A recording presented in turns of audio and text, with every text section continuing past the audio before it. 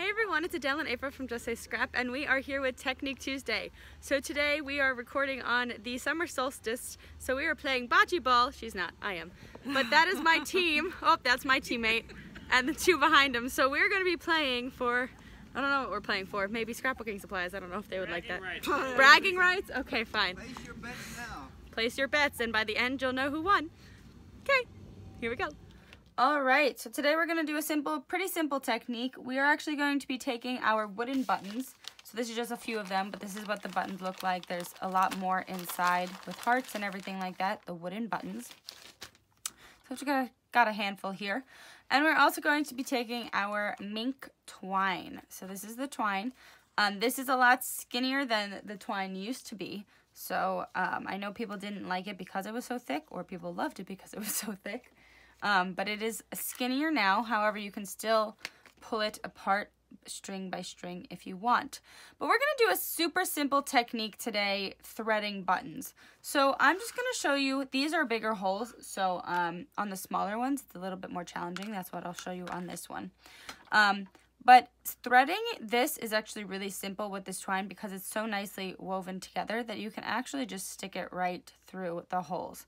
So you can actually get a really cool look to it. So you can kind of just stick it through these holes like this and even just doing something small like this. And see, I can actually save some twine by pulling this back through. Doing something small and simple like this on a page actually will give it a lot of cool dimension. Um, so this is, uh, that's not the, the, it's the micro tip, not the nonstick. Um, so once you have that, you snip it and then you can just put a glue dot or something and have that on your page. But you can see how that really picks up a lot and it just looks cool. It really gives it a different look than just having a normal button on the page.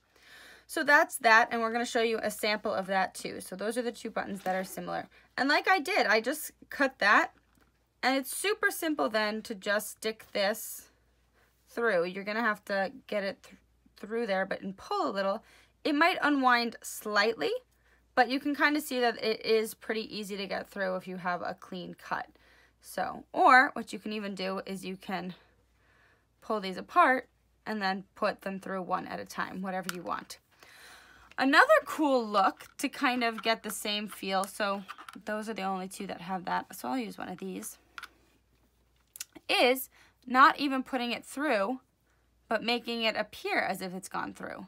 So if I do this and I tie a knot, take my scissor, cut it here, and then I do give it this cool effect of um, shredding some of this twine. Just kind of pull all these little strings apart, give it a cooler look. And then I actually just take a micro glue dot and I glue dot it onto here. It looks as if I have now threaded it through both sides and tied a knot. However, I've taken out that step of having to try and get it through and I've now just put it on top and it gives it the same kind of effect as doing that but just without the bulk but with something like this you do want to make sure that it is through and then you just glue it down with a glue dot so that is that and we are going to show you some examples in a book so you can kind of get a feel for what the buttons look like when this happens in an album so this is just a sample of them on the page that doesn't have any twine in it. You can see that they also look really, really cool just like that. But then we also have here. So you can see that it's just a little glue dot on top and we've kind of untwined them and put the little ribbon there. This is also another cool thing. These are stickled. So we just threw some stickles on top and it gives, once again, the buttons a completely different look.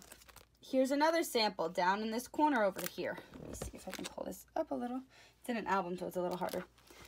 This is just super simple. That has some stickles on it, but then we've got our button there that is one of the um, four hold ones, but it does just has that knot on top of it. And it looks really, really pretty the way that it is done on that page. So those are just some samples.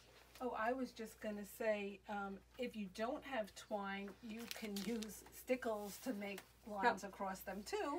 Yep, or you could even use both the either the silver or the um, gold embellishing thread that we also have. That would be something cool. And with that too, you can kind of we'll play maybe a little bit with that next week.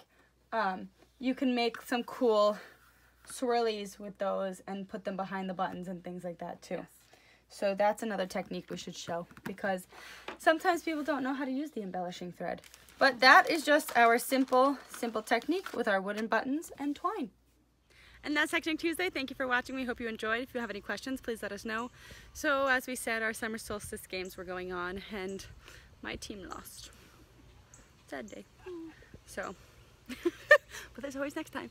And remember, our virtual weekend is still up for July the 23rd to the 26th. Um, there's spots, obviously, because it is virtual, and we Mm-hmm. are really getting looking forward to getting everything out. So we already have most of it packaged up for Yes. the people who have signed up. So we're super excited. Yeah, and if you want to sign up, sign up because sign-ups can only be taken until the July. Second? Was it the second, or the ninth?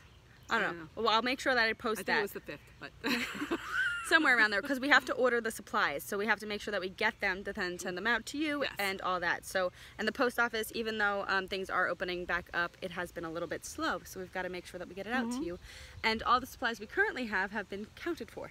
So we have to put another order in too. Yes. So, all right. I guess that's everything. We'll see you next Tuesday. Bye. bye.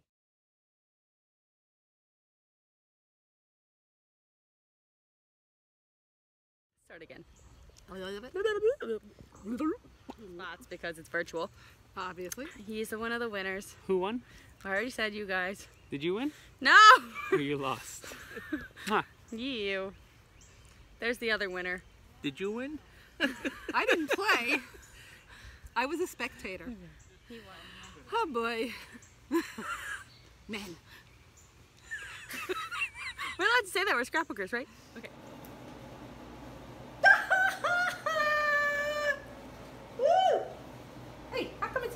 two. that remainder is zero. Woohoo! We're going on a cruise. We're going on a cruise. Joining those two. Yes. And one that's not up there. There are two that are not up there. Two that are not up there. Yahoo! Wow. Happy dance. Yay! Happy dance.